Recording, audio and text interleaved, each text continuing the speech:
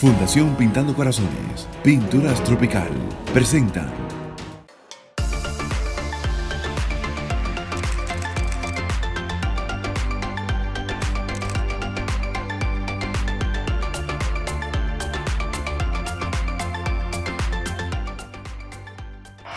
Destacado abogado dominicano, especialista en Derecho Migratorio y Consular, Tecnología, Propiedad Intelectual, aficionado de la música y la comunicación. A través de las redes sociales ha encontrado un espacio para aplatanar las leyes, logrando destacarse en el gusto popular. Te contrataron para hacer un trabajo, lo hiciste y no te pagaron. ¿Qué debes saber? Si se trata de un contrato de servicio independiente, aplica el Código Civil y son competentes para demandar los tribunales civiles. La jurisdicción laboral si solamente se reclama el pago o la jurisdicción penal si se persigue una condena privativa de libertad. En Hoy, William Sánchez, Juan Miguel Castillo, vamos a conocer más de su historia. Juan Miguel, William, qué placer. gracias por invitarme. Para mí es un honor estar aquí contigo. Por fin se da esta vaina, porque tú y yo teníamos como un año hablando. meses atrás juntarnos, sí, cosa que, que la No, no, desde la pandemia, vamos a ponerlo así. Desde el 2020 estamos tú y yo peleando este programa. Sí, desde que la gente iba con, con, a- a- con una careta al supermercado, ¿te acuerdas? Exactamente, y que le echaban a uno agua antes de entrar a su casa. Claro. Sí. A- agua y cloro. Ahí se, ahí se dañó mucha ropa. Toda toda esa mancha de cloro encima. No, pero honestamente yo estoy muy encantado de tenerte en este programa por múltiples razones.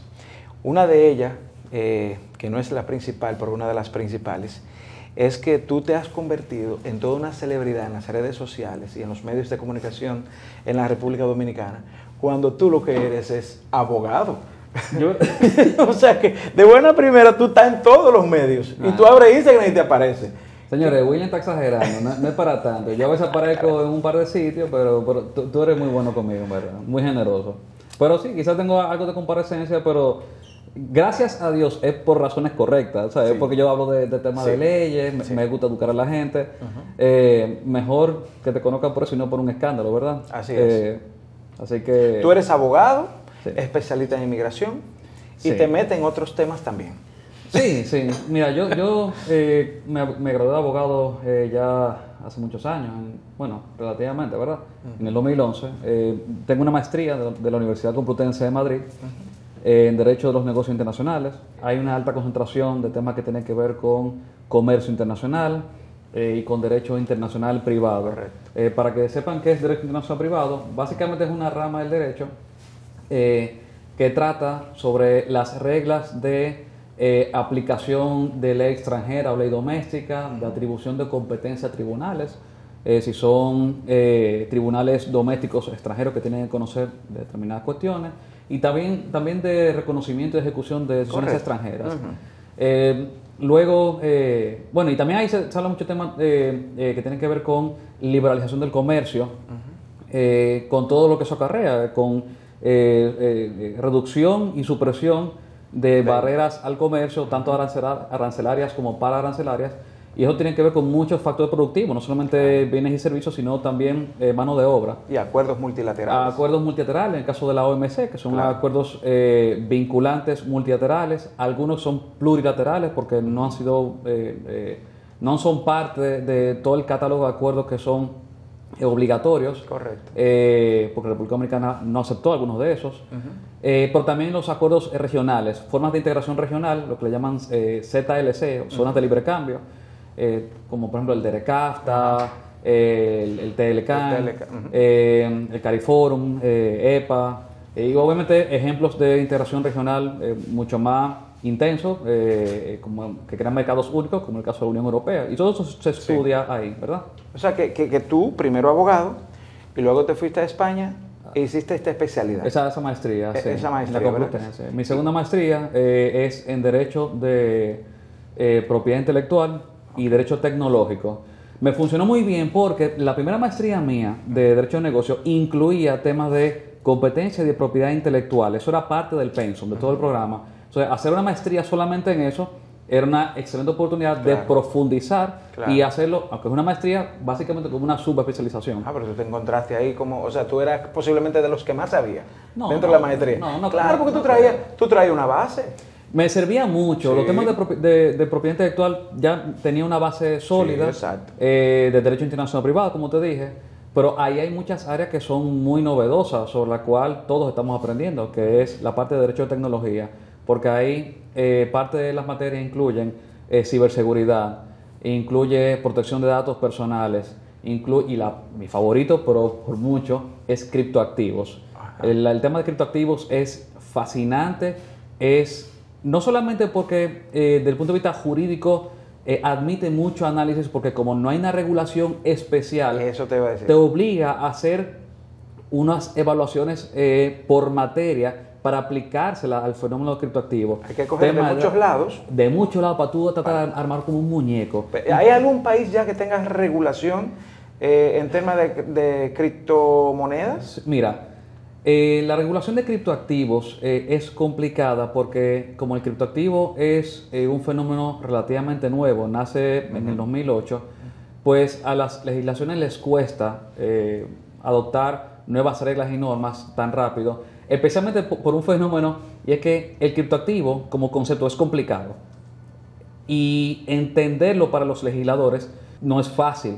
De hecho, a los mismos organ- organismos reguladores les cuesta entenderlo y muchas veces pasa que organismos, eh, como el caso de la Superintendencia de Banco de nosotros, de la Superintendencia de Valores de nosotros, del Banco Central, eh, no se han dedicado a hacer estudios sobre criptoactivos y lo que se han concentrado es en sacar comunicados públicos, Exacto. artículos en revistas académicas que son editadas por ellos, eh, satanizando los criptoactivos. Eso no es seguro, eso no tiene valor subyacente, esto es malo por esto y esto y esto, pero no profundizan en toda la importancia que tiene el criptoactivo. El criptoactivo es realmente una tecnología eh, disru- disruptiva eh, que es una evolución de la tecnología eh, P2P, peer-to-peer, que es una forma diferente de almacenar información, de alojar, alojar información. En vez de hacerlo en un disco duro centralizado, en un servidor común, tú lo que haces es replicar información en múltiples nodos. De la tecnología blockchain. Esa es la tecnología blockchain. Entonces, eso supone nuevas formas de, eh, de validar la titularidad de un activo, porque eso sirve como un libro contable. Y esa forma de reivindicar la titularidad y la apropiación de un activo en un sistema, eh, lo que, que, que si funciona bien sería tamper proof, o sea, a prueba de manipulación, es una maravilla en el mundo de la tecnología, de las redes de Internet, porque significa eh, atribuir la característica de ser apropiable y reivindicable como exclusivo tuyo con un mecanismo de, de consenso, un activo que normalmente tú no lo ves como tal, porque normalmente los, los, los bienes en entorno digital suelen ser servicios. Imagínate, ¿tú cómo le vas a pedir a un diputado, No, es- a un senador, es que entienda cómo funciona la tecnología de blockchain para poder crear entonces una regulación? Entonces, no, no- ah, no va a ser tan fácil claro. y no ha sido fácil para el mundo entero. No, no, mira, le, le cuesta mucho porque todos los días cambia, todos los días hay, cambia, hay nuevos fenómenos, hay nuevos escándalos, nuevas estafas, y eso es un reto para cualquier ordenamiento jurídico. Entonces, O sea, que, digamos, perdón, Sí. que ahí tú tienes también una especialidad. O sea, esa es la parte que tú más disfrutas. de derecho de tecnología, Dentro sí. del, derecho de, del derecho de tecnología. ¿Y después de eso qué estudiaste? Eh, no, esa fue mi, mi última maestría realmente. sí. Por suerte. Sí, sí, por, por ahora. ¿Cuántas ahora- van? ¿Tres? No, dos, dos. Dos, dos, perfecto. Sí, sí, sí. Ahora, abogado. ¿De dónde te nace a ti ser abogado? Es que mi familia son abogados todos. Es verdad, no me digas.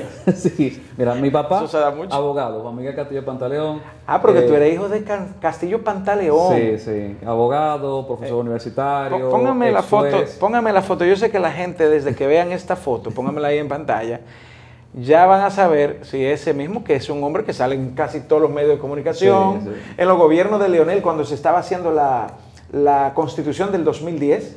Él tuvo algo de participación, pero eh, papi... Era entrevistado mucho para, para fines de opiniones. Sí, mira, eh, papi ha tenido siempre figuración pública en múltiples temas. eh, y te voy a mencionar algunos casos que le dieron más figuración pública y por lo que la gente lo recuerda típicamente. Por ejemplo, cuando el caso del niño Jenna Jaibar, eh, papi como abogado en los medios de comunicación fue entrevistado y él en, en los medios de comunicación eh, daba las explicaciones procesales de qué es lo que estaba sucediendo en las audiencias, en las fases del proceso. Eso lo explicaba él. Eh, otro caso que, también le dieron notoriedad y el que más notoriedad le dio, eh, por mucho, es el caso de Orlando Martínez. Eh, el juez de instrucción que conoció el caso, que le dio la, calificación penal eh, a los autores materiales de la muerte de Orlando Martínez, fue mi papá. en ese momento, en base al Código de Procedimiento Criminal anterior, antes del año 2002, el juez de instrucción tenía un papel un poquito más proactivo eh, un papel investigador. y la investigación completa de ese caso, que eh, hay que recordar que Orlando fue asesinado en, la, en los primeros 12 años de Balaguer, cuando recibe ese expediente, eh, ya el expediente estaba mareado de hace, de hace muchísimos años, y quien investiga eso y quien le da la calificación y lo envía a juicio es mi papá, los autores materiales. Eh, Porque era juez de instrucción en ese momento. En ese momento, sí. Entonces, eh, y antes de eso había sido hecho juez de tránsito. Eh, soy papi, de que una, autoridad académica tiene más de 20 libros publicados, eh, un autor prolífico. de hecho, siendo juez, conocí a mi mamá. Mi mamá era fiscalizadora. ¡Ah, qué chulo! como también abogada, era, era fiscalizadora y así, así se conocieron. O sea, que tu papá es abogado. Tu mamá es abogada. Y mi hermana es abogada. Tu hermana. Leila Mejía Roldán. Vamos a poner la foto también de ella. Ponme la foto de Leila. que dicho sea de paso, ustedes tienen un programa, ahí está Leila, buenísimo, juntos, que me gusta mucho porque no es un programa jurídico. Y aunque ustedes son abogados, los dos, y toman algunos temas jurídicos, pero como que involucran cualquier tema de la sociedad con el evento jurídico al mismo tiempo. Sí, no tratamos de que no solo todo el tiempo tan, tan jurídico. Ella es abogada, también una especialización en temas de, economía. Y ese programa se llama Estructuras, se transmite los sábados a las 3 de la tarde por CDN, Canal 37, también con una retransmisión a medianoche. Y otra cosa que no te comenté de papi, que para no saltar tanto el tema, también cuando se dictó la sentencia 168.13 sobre la nacionalidad dominicana, la sentencia del Tribunal Constitucional, eh, la, eh, toda la, arquitectura jurídica eh, y filosófico-jurídica detrás de la sentencia está inspirada en gran parte en una tesis doctoral de mi padre, que es grado PhD, que se llama La nacionalidad dominicana. Esa tesis doctoral de la Universidad Complutense también, que tuvo la máxima calificación por un tribunal doctoral, Posteriormente se convirtió en Premio Nacional de Literatura bajo la categoría Ensayo Sociopolítico. Y ese escrito denso fue la base jurídico-ideológica eh, para la sentencia 168-13 y obviamente eso llevó a que fuera entrevistado eh, cientos de veces en medios de comunicación para explicar la sentencia y todo lo que tiene que ver con la nacionalidad dominicana. Tú tienes un, si, se quiere, un maestro eh, detrás, porque puedo ver que en cada una de las participaciones tuyas en los medios de comunicación, al final estás enseñando. ¿Dedicas parte de tu tiempo también a enseñar en las universidades? Sí, soy profesor también. Eh, yo soy profesor de Derecho Migratorio eh, en la Universidad, en la Pucamaima. Eh, empecé en el año 2014. La materia de Derecho Migratorio la creé yo. Ese, ese programa entero fue creación mía y la impartí durante 6 o 7 años, dejé de enseñarlo durante 1 o 2 años y ahora en mayo empiezo otra vez a impartirla. Excelente. Eh, en la maestría de Derecho Migratorio y Consular de la UAS, que es la única maestría de Derecho Migratorio que hay. Wow, en la UAS. Sí, en la UAS. Yo soy eh. profesor eh, de la materia de procedimiento migratorio y Derecho Migratorio Comparado. Esas son materias en las que soy profesor titular oficial. Ok. porque ya mis participaciones en diplomados, eh, para la Escuela Nacional de Migración, para el Centro de Capacitación de la Dirección de Migración, eh, para el EFEC, que es la Escuela de la Junta Intelectoral. He tenido para Barna también. Son participaciones, digamos, de conferencias y en el marco de... Speakers. Sí, de paneles, pero como profesor titular hay. A mi hermana a veces le desespera, Leila, que, va a ver tú seguramente, a ella le desespera a veces que en mi programa de televisión yo quiero ser demasiado didáctico. Exacto. Y yo quiero ser muy explicativo y muy profesor. Y ella me dice, mira, muy chévere todo lo que tú quieras enseñar, pero a veces la gente lo que no, lo que quiere es ver otro tipo de contenido, no que le den clase. Yo, ok, también déjame bajarle dos. es que yo te he visto. Justo, yo creo que uno de los videos virales tuyos fue cuando eh, estábamos conociendo en, el Congreso de la República Dominicana el tema de la ley de extinción de dominio. Correcto. Ahí yo creo que tú yo creo que no hubo un dominicano que te haya visto. Y voy a pedirle a Joan que me ponga por favor ese video. Y con ese video nos vamos a la primera pausa y hablar entonces de un poquito de esa ley luego que regresemos de ella. Vamos a ver el video. Y ya regresamos. Hablemos del proyecto de ley de extinción del dominio. Al menos tres proyectos se encuentran en el Congreso. Estos tienen similitudes con la ley modelo de extinción de dominio de la Oficina de las Naciones Unidas contra la Droga y el Delito. En teoría, el objetivo es establecer el proceso judicial para decomisar bienes adquiridos de forma ilícita, con la finalidad de ser traspasados al Estado dominicano sin compensación. Los ciudadanos nos alegramos cada vez que se habla de recuperar el patrimonio robado por corrupción, pero en el fondo no es tan sencillo. La propiedad es reconocida por la Constitución como un derecho fundamental garantizado por el Estado. La regla elemental es que se prohíbe confiscar bienes por razones políticas y solo es posible la privación del derecho de propiedad por vía de un proceso legal. Esto ocurre con las expropiaciones por causa justificada, que conllevan indemnización acordada entre el Estado y la persona. Si no hay un acuerdo, inicia un proceso judicial o también puede ocurrir en el marco de un proceso penal en el que se ordena la incautación y decomiso de los bienes por vía de una sentencia. Pero para esto hay dos condiciones constitucionales. La sentencia debe ser definitiva y los bienes deben estar originados en actos ilícitos tipificados por las leyes penales. ¿Y la Constitución menciona la figura de extinción del dominio? Sí, pero no la define. Entonces, ¿qué problemas tiene el proyecto? Te lo explico corto y fácil. Todo el mundo es culpable. Si te matas trabajando día y noche para ahorrar y no guardaste cada recibo, tu casa y tu negocio pueden ser confiscados sin nunca haber cometido un delito. Chequea. Presunción de culpabilidad. La ley impone a los afectados la obligación de acreditar la legitimidad de sus bienes y permite presumir que nuevos adquirientes sabían del origen ilícito. Esto es profundamente inconstitucional porque la Carta Magna reconoce el derecho de presunción de inocencia. De hecho, las bases más elementales del derecho establecen la presunción de la buena fe y las reglas sobre la carga de la prueba. Quien alega un hecho tiene que demostrarlo y eso aplica para todos los procesos legales, especialmente para el Ministerio Público. En fin, una ley de extinción de dominio puede ser útil, pero las versiones que cursan en el Congreso Nacional se prestan a los abusos más antijurídicos en los procesos investigativos. Ya estás informado, hazte tu propia opinión.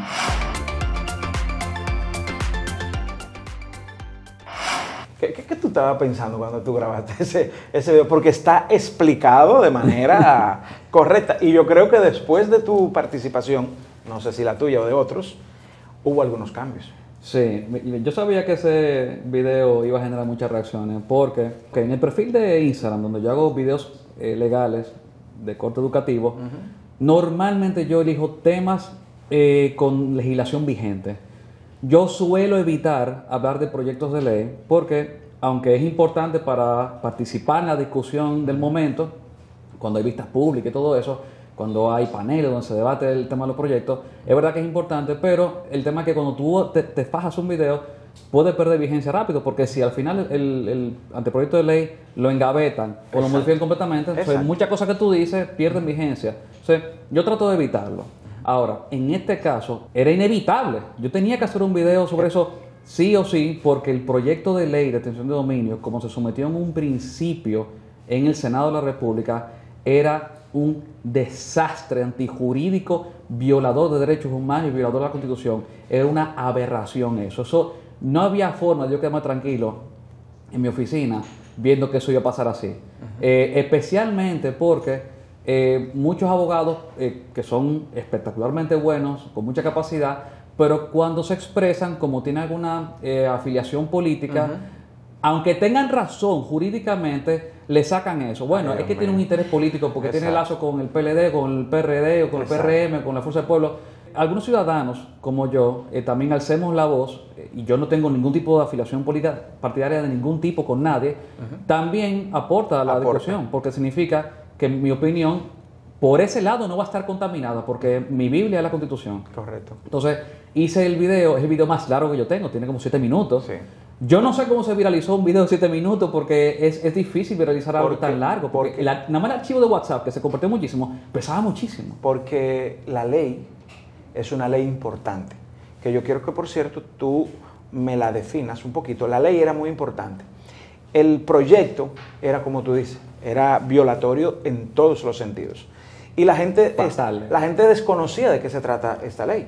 Y yo creo que fuiste tú el que entró de algún modo a educar a la población, porque se viralizó, todo dominicano vio eso y entendió. Y la gente comenzó a, tomar un poquito de conciencia de tomar en cuenta lo que son los proyectos de ley en, el Senado y en la Cámara de Diputados, en el Congreso en sentido general. Así que hablemos un poquito de esta ley y para que la gente nada más sepa defíneme en qué consiste esta ley que ya es ley. Si ya es ley, aún no ha entrado en vigencia, eh, porque establecía una vacacio leyes, que es una suspensión Sí. eh, de la entrada en vigencia de la ley, eh, contada a partir de la, de la publicación. Es una ley que crea o, o desarrolla, mejor dicho, una figura mencionada en la Constitución Dominicana en el artículo de derecho de propiedad como derecho fundamental. La extensión de dominio es una forma de terminación o extinción del derecho de propiedad. El, derecho de propiedad como derecho fundamental obviamente está garantizado y protegido por la legislación y su afectación está supeditada a una tutela judicial efectiva para que solamente un juez competente pueda eh, garantizar el debido proceso y el derecho de defensa del propietario legítimo de, de ese bien. Entonces, los límites a la propiedad siempre han existido, William. Eso, eh, y yo lo dejé muy claro en el video y en todas las conferencias que yo he dado, lo he dejado bastante claro. Eh, y ese- esos límites no iniciaron ni siquiera con las nuevas constituciones y nuevas legislaciones. Esos límites existen desde el Código Civil Napoleónico. Usted tiene un derecho de propiedad sobre sus bienes, que son parte de su patrimonio, y eso le permite a usted hacer uso de las desmembraciones del derecho de propiedad, Correcto. de disponer la cosa, venderla, hipotecarla, alquilarla, eh, Usufructuarla. usarla, usufructarla. Pero de la cosa usted no tiene derecho a hacer uso ilegal. Eso no es un derecho que usted tiene. Eso es- lo dice el Código Civil todavía hoy en día. Correcto. Entonces, en el caso de, de otras formas de, de- de limitación, aparte de esa, por ejemplo, está la, la expropiación forzosa, que usted sabe muy bien que es cuando el Estado declara de utilidad pública e interés social una parcela, pero usted hay que compensarlo, ¿eh? Usted Claro. hay que compensarlo Claro. con el pago de un justiprecio que puede ser voluntario o puede ser judicial. Y eso pasa por una jurisdicción especial, Sí. que es el Tribunal Superior Administrativo, en, en- en funciones de jurisdicción contenciosa administrativa. Eh, también está la incautación y el decomiso, que también lo conocemos. Incautación es cuando la autoridad eh, inmoviliza y retiene unos bienes producto de una investigación y de unas medidas eh, cautelares. Y en el caso del decomiso es cuando se produce la apropiación de ese bien por una sentencia de un juez que tiene un carácter accesorio. Correcto. Si usted lo condenan eh, por la comisión de un delito, esa condena puede co- contener, por un lado, la imposición de la, de la medida privativa de libertad, la condena, digamos, a 5 o 10 años de prisión. Eh, si hay responsabilidad civil, por lo la reparación de daños y perjuicios, multas como eh, condena económica, pero también puede pronunciarse sobre el decomiso. El decomiso es básicamente la, la ejecución de, de ese bien. Los bienes pueden ser eh, vendidos en pública subasta, los bienes pueden ser destruidos también. Sí, pueden ser. Eh, eh, armas de contrabando, por ejemplo, drogas, son un objeto de destrucción. Entonces, sí, la forma de extinguir la propiedad hay muchísimas en el derecho. Ahora, entre esta ley, Ahora, entra esta ley que introduce una nueva forma de aniquilar la propiedad, que es la extinción de dominio, que está diseñada, está diseñada en principio eh, como un juicio a la propiedad en sí y no al individuo, Al individuo. Lo cual fue la primera mentira que se dijo en este país. La primera, porque eso no es verdad. Que es un juicio a la cosa. Señores, si producto de un proceso judicial, y vamos a dejarlo muy claro eso, porque esa mentira todavía se sigue diciendo, usted como individuo, con un patrimonio que es un atributo de su personalidad jurídica, a usted se le extingue la propiedad sobre un bien dentro de ese patrimonio, no quien cosa. lo percibe, eso es usted, porque usted no se le está compensando. Por tanto, tiene un carácter punitivo sobre los bienes de la cosa. Vamos a decir ahora que cuando una gente no se multa, eh, no es sobre la persona que le cae. Ah, o sea, la, la cosa no es de nadie. exacto. No, la cosa es de alguien y de un patrimonio que está protegido. Entonces, sí, señores, esa, es la primera, la- esa fue la primera mentira que se dijo. Entonces, está diseñado básicamente para prevenir y castigar eh, delitos que crean formas de enriquecimiento ilícito, Ilícito, sí. eh, tema narcotráfico, lavado, corrupción. Y lo cierto es que eso hay que perseguirlo. Hay un tema de que, lamentablemente, la incautación y el decomiso como figura jurídica aparentemente no han sido suficientes, lo cual yo lo pongo en duda. ¿Es a culpa de la norma? Porque la norma ya establece la incautación y el decomiso, o es las autoridades que no han investigado y de un sistema de justicia eh, complaciente y que ha garantizado impunidad. O sea, vamos a echarle la culpa de la fiebre a la sábana, en serio. ¿de dónde viene este proyecto de ley? Hay una ley modelo de Naciones Unidas sobre el dominio y otras leyes similares que se han aprobado en, en otras partes, en otros países. Eh, en este caso, eh, la, la extinción de dominio eh, se crea en esta ley y cuando se someten en, el Congreso contiene una cantidad de cosas aberrantes, empezando por la retroactividad, que la ley era retroactiva. Señores, la ley no puede ser retroactiva.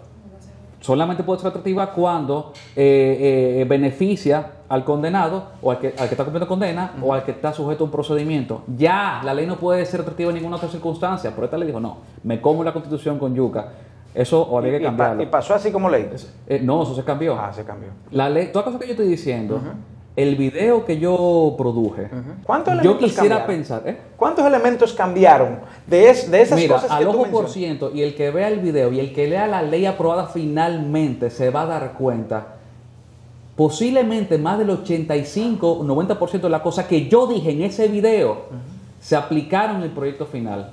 Y yo lo digo orgullosamente, la retroactividad la quitaron Tú sabes, ¿recuerdan la conferencia que yo di hace, hace un tiempecito eh, en Copedac? Donde yo hablaba de los beneficios para los delatores.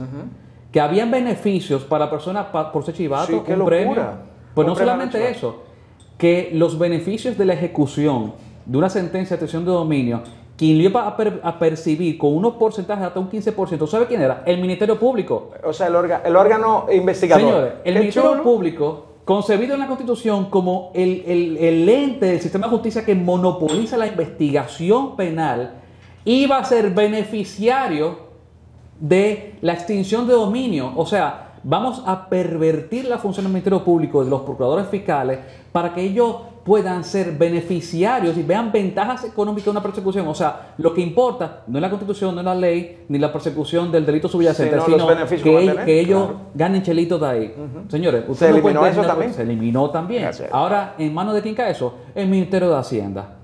Eh, se le colocaron sanciones a las autoridades en caso de abuso de la ley también. Eso se colocó. Se, se, hizo eh, más rígida eh, las formas de inicio de la investigación eh, para el Ministerio Público, para que no puedan hacerlo arbitrariamente. O sea, se fortaleció en muchísimos aspectos. A ver, del 1 al 10 ahora, como pasó el proyecto de ley, como está en la ley, del 1 al 10, ¿cuánto me le das? 7 y medio. 7.5. 7 y medio. Elementos, uno, que tú eliminarías. Eh, yo, de hecho, pongo muy en duda, eh, y eso, o sea, digo 7.5 porque la ley es una realidad. Es una realidad y evidentemente ya no, no, se, no se va a borrar. Pero yo todavía pongo en duda la viabilidad de la necesidad de esa ley. Me pregunto, ¿la, figura de la incautación y el decomiso de verdad no eran suficientes? Había que crear una ley con una jurisdicción especial, con nuevos procedimientos, porque a mí todavía hay cosas que me preocupan. ¿Qué pasa cuando una persona se le dicta una sentencia de detención de dominio donde se eh, desprende que hay un delito subyacente, porque la acción de dominio se produce por un acto ilegal que eh, da origen a ese bien. Entonces, ¿podría ser usado como prueba o para de una investigación penal contra esa persona? Es una pregunta clave. Entonces, dice la ley en una parte que no, pero vamos a ser sinceros. Si el Ministerio Público está investigando y requiere que se yo cuántos informes y te imputa un proceso de decisión de dominio, ¿tú crees que ellos no van a usar eso para un proceso eh, principal después? ¿Tú, ¿Tú de verdad crees que no? A mí me preocupa. Y yo te voy a decir también por qué me preocupa. La ley de lavado de activos, la 155-17, eh, tiene ya seis años, me parece. Esa ley aparentemente no ha sido suficiente para frenar los procesos de lavado eh, y de blanqueamiento de capitales. De hecho, la ley de lavado de activos, para muchas personas de bien, empresarios decentes, honestos, se ha convertido en una herramienta de persecución bancaria para muchísimas personas. Gente que le han cerrado cuentas, gente que le han sometido a, una eh, a un escrutinio, innecesario. Señores, aquí se dijo mucha mentira. Dijeron que eso se aplica solamente a los narcotraficantes y a los corruptos. Otra mentira. Si usted cree que a usted no le van a aplicar la decisión de dominio de forma arbitraria y con mala fe, piense de nuevo, porque en este país hay muchas cosas y la ley de lavado de activos se ha prestado para muchas cosas. Señores, hay que castigar el delito, hay que perseguirlo, hay que castigarlo porque, primero porque son conductas antijurídicas, pero también porque crean muchísimas distorsiones en el mercado. Cada vez que tú ves estos apartamentos lujosos que se disparan en precio, siguen vendiendo y construcciones y construcciones con una economía a veces con tanto problema, ¿dónde tú crees que viene ese dinero? Eso es lavado de activos muchas veces. Entonces tú creas también elevación de los, de los precios en muchísimos sectores, como en el sector inmobiliario, pero es una gran burbuja, porque es dinero que viene del lavado de activos. Entonces, si la ley de, de dominio sirviera sirviera para desincentivar la comisión de ciertos tipos penales como el lavado y como la corrupción administrativa, a mí me encanta, yo sería feliz, porque es el país que yo quiero ver. Yo estoy harto de ver funcionarios andando en yate, con villa en casa de campo, con un patrimonio de 500 millones de pesos, 1.500 millones de pesos, que no pueden justificar porque tú Miles de calculas de lo que, lo que ganaron como salario en el Estado y lo que tienen, y los números sencillamente no dan, y lo que hace muchas veces es inflar los números en las declaraciones juradas antes de ser funcionario. Sí. Yo estoy harto de ver eso y la, la sociedad está harta de ver eso. Correcto. Ahora, la pregunta es, ¿se va a lograr? ¿Se logró con la ley de lavado activo? ¿Se ha logrado con los procesos de incautación y decomiso? O sea, todavía le echamos la culpa a, a- a causas que no son causas efectivas. Yo me pregunto con el tema de trata y tráfico, por ejemplo, ¿usted cree que, que- que se ha reducido? Todavía hoy estamos discutiendo de, de reforma de la normativa de trata y tráfico, como que aquí no había ley tampoco. Y eso aplícalo a mil cosas. Ley de migración, lo mismo. Señores, muchos problemas del país, graves en el cerebro, no están en la legislación, están en la administración, por un lado, y por otro lado, en el sistema de justicia, en la Procuraduría y en los tribunales de la República. Busque los problemas donde están realmente las causas efectivas los problemas del país. Ejercer tu carrera, que veo que tú lo haces con tanto amor y con tanta pasión, pareciera como si tú te lo disfrutaras. Pero es como disfrutar, analizar situaciones que aquejan a una persona que es un ciudadano dominicano, común y corriente, y que afectan al país y que tú quisieras cambiar. A mí me gustaría que tú me digas y hagamos un ejercicio. Tú, presidente de la República, tres elementos que tú cambiarías radicalmente. Radicalmente, eh, política eh, migratoria y control de frontera. Eh, me gusta cómo el presidente Abinader lo está manejando en general y obviamente el trabajo que está haciendo de, de recordarle a la Sí. comunidad internacional sobre eh, cómo Haití es un problema eh, no solamente de la isla, sino también de la región y que por razones humanitarias toda la comunidad debe eh, ser partícipe de buscar soluciones a Haití, pero dentro de Haití.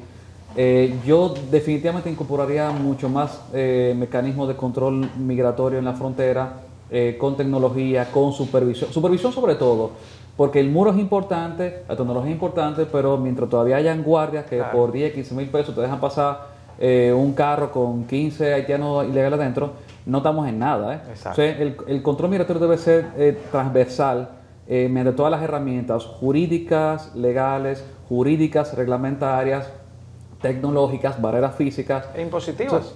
Porque esos haitianos también, ese haitiano debería dársele, y pienso, un estatus legal, aunque sea temporal, pero que, que el empresario pueda inscribirlo en la Tesorería Nacional, en la te- en la- eh, eh, que pueda pagar sus impuestos, que pueda tener su seguro, que pueda asistir a una clínica y que no sea una carga para el Sí. Estado a través del hospital. Pero para eso tú necesitas estatus migratorio legal y eso eh, inicia con la concesión de un visado en el consulado dominicano en el extranjero.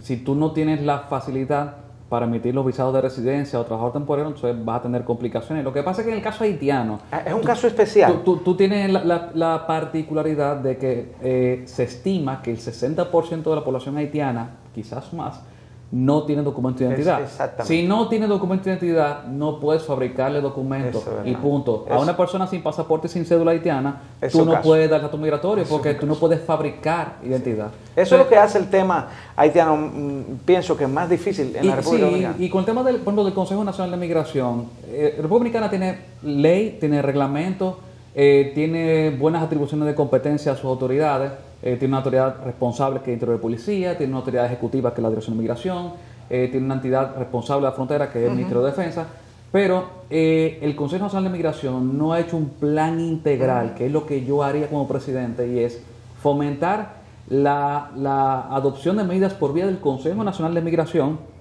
que lo preside el Ministerio de, de- de Interior de Policía, con muchas otras entidades como el MIREX, que se establezcan lo que yo tengo años enseñando en los salones de clase en Derecho Migratorio. Tú aplicas flexibilidades y eres más permisivos en ciertas áreas de necesidad nacional y tú aplicas restricciones donde se demandan restricciones. Una- hay una necesidad de mano de obra haitiana. Entonces, donde haya ciertas necesidades de mano de obra extranjera, tú tienes que velar porque el perfil a quien se le va a dar estatus migratorio es un perfil identificado y que no constituya un inmigrante eh, que suponga un peligro para la nación dominicana.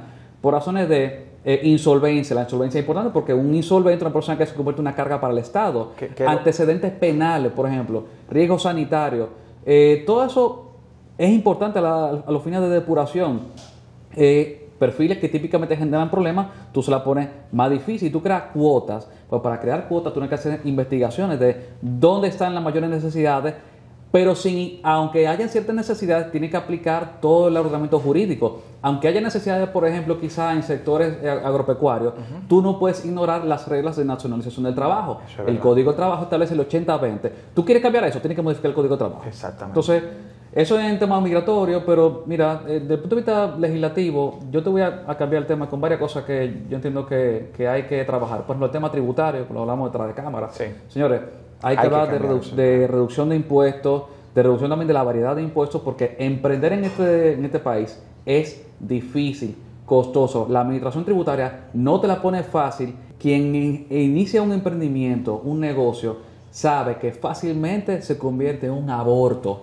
Desaparece la entidad. Hoy salió un estudio que antes, de los tres de- años ya No. desaparece. Desaparece porque los, entre los pasivos tributarios, los pasivos laborales, eh, los pasivos municipales, sencillamente los negocios no arrancan y eso también crea inseguridad para la inversión extranjera. Eh, tema tributario. eh, te- bueno, nuestra amiga Luz del Alba Rodríguez, Sí. abogada con la que respeto y quiero muchísimo, a- a- amiga tuya también, mía, claro. hicimos un video para Legal CPR en conjunto donde, hab- donde hablamos sobre alquileres.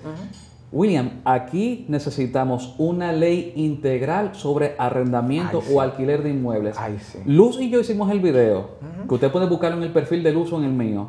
Y comenzamos a hablar de sentencia, decreto, ley por aquí, ley por allá, código civil. Señores, toda la normativa y la regulación de alquileres está fragmentada y está dispersa. Hay que crear una ley integral que vaya desde los contratos hasta el tema de desalojo por incumplimiento. desalojo. Pero integral, porque todo está disperso. También tema de derecho de imagen. Aquí se necesita una ley de derecho de imagen. Lo que tiene que ver, por ejemplo, con el delito de uso de imagen no autorizado, eh, imágenes de personas fallecidas, accidentadas. eh, todo eso está disperso, muy disperso. Por tanto, las reglas de autorización de uso de imagen personal están también fragmentadas y no son muy claras. Y uno lo que hace es que se agarra un poquito algunas cláusulas de, de derecho de propiedad, eh, de, de derecho de autor, probablemente no son las reglas aplicables, porque derecho de imagen es una cosa y obra son otra cosa. O sea, esas son algunas iniciativas que yo diría que hay que trabajar poco a poco. En el caso específicamente tuyo, y lo mencionaste hace, hace ahora, que se llama Legal CPR. ¿Qué es eso? Castillo, Pantaleón y Roldán. Castillo, Pantaleón es mi papá y es por la oficina. Roldán, mi mamá y yo. Yo soy Castillo Roldán. Sí. Entonces, ¿qué pasa? Eh, CPR o CPR eh, en inglés, Eso suena mejor. eso, eso es, sí, su- suena chulo, suena Sí, sí. Suena así, suena chico. sí. CPR es eh, resucitación cardiopulmonar. Sí. Es cuando usted resucita una, Ah. una persona, sí, con, con, eh, con presiones en, Sí. en el pecho. Eh, se llaman CPR. Diablo. O sea, Oye, tú ¿por dices- dónde se fueron esta gente? se- se- cuando, tú dices, cuando tú dices le- legal CPR, se oye como una resucitación legal. Legal, sí. como un tema de atender Sí, una sí, emergencia sí, sí, legal. está una buenísimo.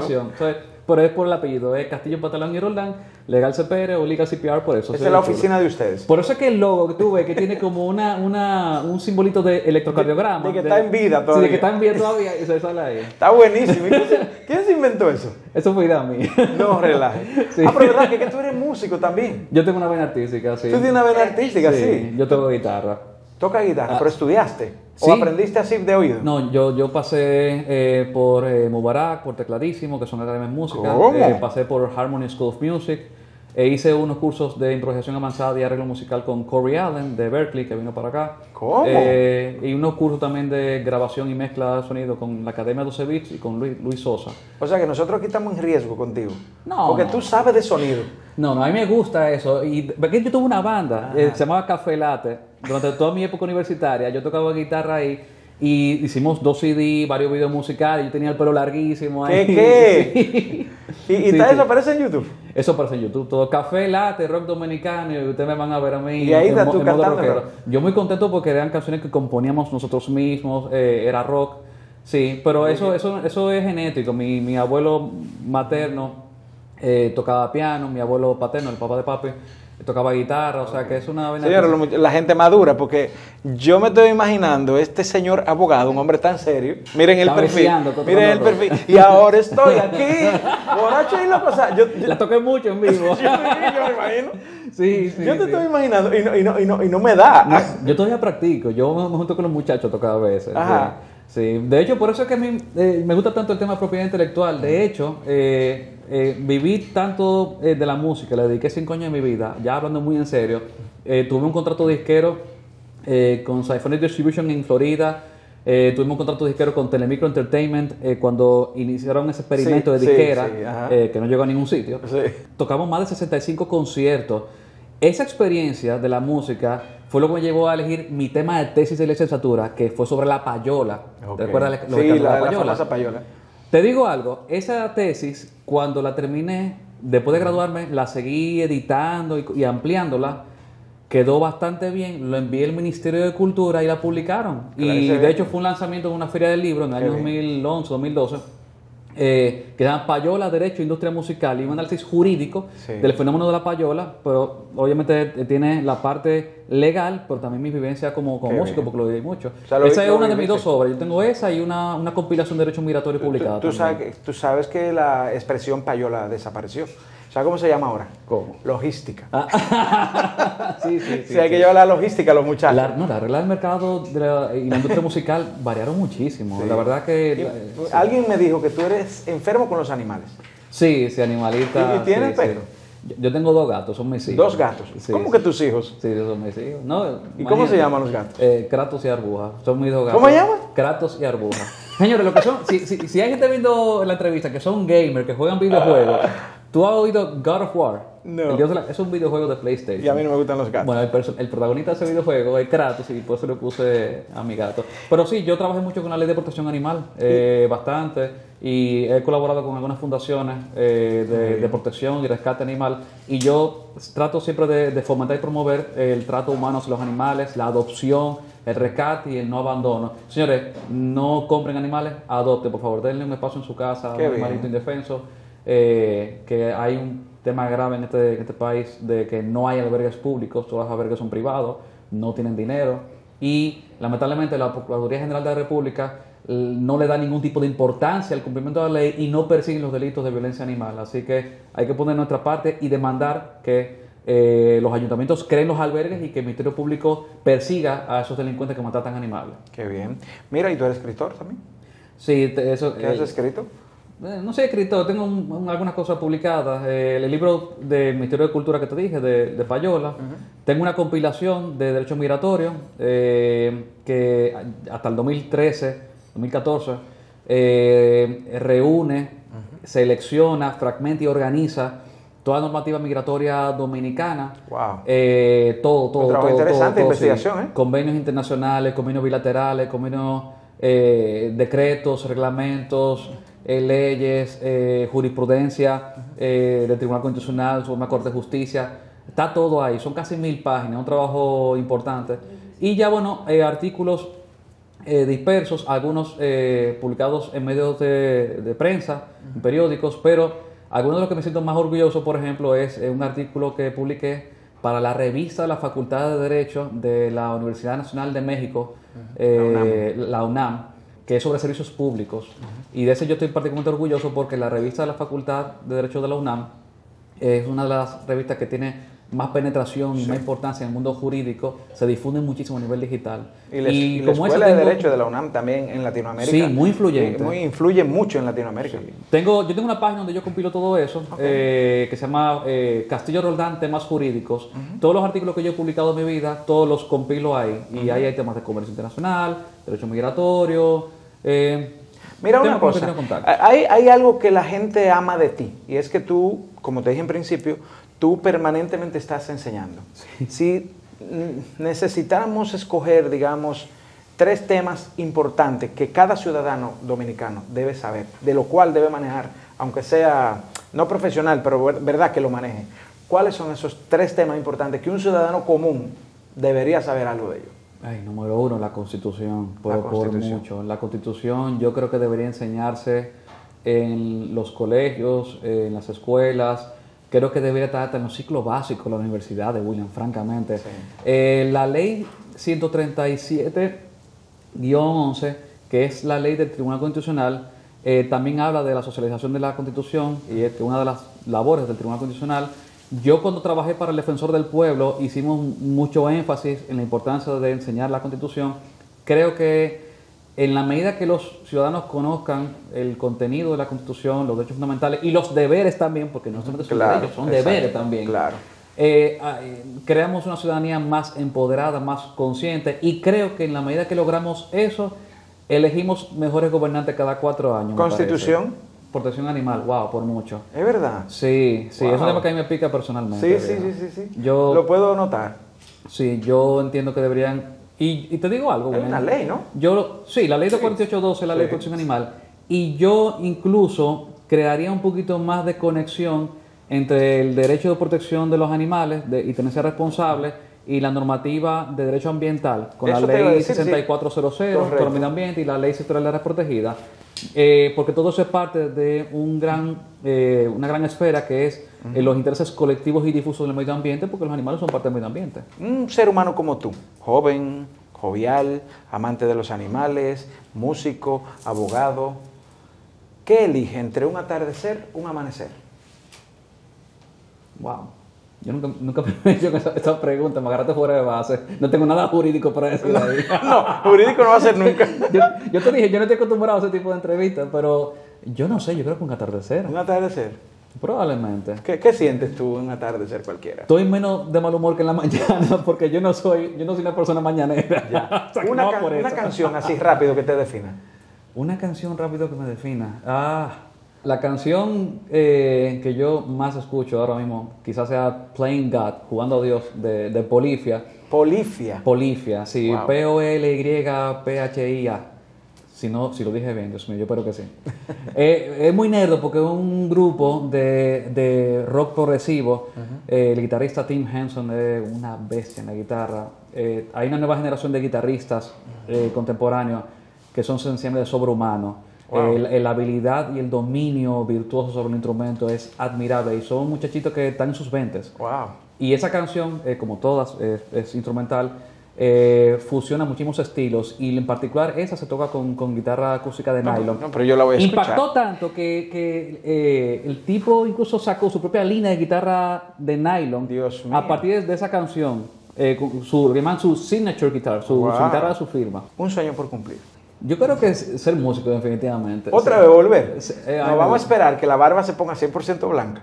Y entonces el grupo de tigres que, tocaba de joven, volvamos a Café Latte. Sería chulo. ¿Tú te imaginas con la barba así? como ¿Te, acuerdas de CC Top? Hay par de grupos. tipo barbudo, así Hay par de grupos en Estados Unidos así. Que fueron muchachos que lo intentaron, luego esos tipos se fueron a diferentes empresas eh, cada quien cogió su camino y se han vuelto a reencontrar. Hay muchísimos grupos Bueno, los demás miembros de la banda Café Latte donde yo estaba eran estudiantes de medicina incluso y se les fue muy bien. Uno se fue a estudiar medicina interna en la Florida. Mi mejor amigo de infancia, que era el que tocaba teclado, hoy en día es el médico patólogo en Texas haciendo la, su especialidad en hemopatología. o sea que todos, todos nos dedicamos a la, carrera en eh, la que estamos estudiando cuando tocábamos. Cuando tú te sientes en una mesa, ¿qué tú quisieras encontrar? El plato que te, el que te la roba toda. Es carne, viejo. Yo soy carnívoro, sí, un buen churrasco con un buen vino. Pero tú sabes que estamos hablando ahora también que me gustan mucho los cigarros. Ah, sí. Señor, la industria tabacalera dominicana es buenísima. Eh, hay que apoyar esa industria. Y a quien ustedes oigan decir que los no que los habanos, que los cigarros cubanos, señores, los mejores cigarros del mundo están aquí en República Dominicana. El único país que hace algo de competencia es Nicaragua, pero los mejores cigarros del mundo están aquí en, este país. ¿Cuál te gusta de Nicaragua? Plasencia. Ay, muy bueno, excelente tabaco, bárbaro. Son, son unos Pero hay que apoyar los locales. Y tienen el ciclo completo, ¿eh? Desde la lombricultura hasta el, hasta el cigarro terminado. Sí, sí, el, producto del tabaco y el ron dominicano es digno de orgullo. Así es. Un digno de orgullo, vamos, una gran cultura ahí. Vamos para los 11 mil millones de cigarros este año, si Dios quiere, de exportación. Sí, se estima que de hecho más de 300.000 familias dominicanas viven eh, directo o indirectamente de la industria tabacalera.